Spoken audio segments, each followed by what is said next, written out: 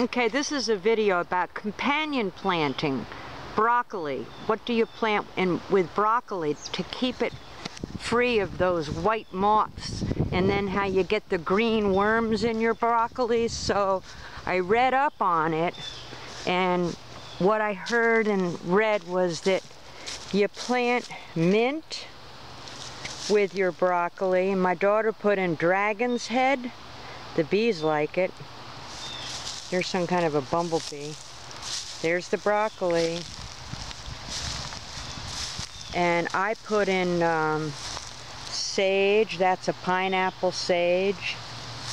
And I put in, I've been harvesting these, a lot of mint. And rosemary, sage, also thyme, German thyme. And what we're getting is we're getting head after head of worm-free broccoli.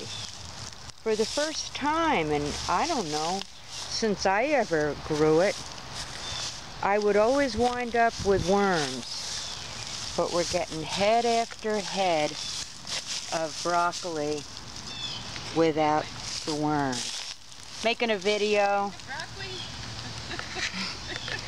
Yeah I'm making a broccoli video so there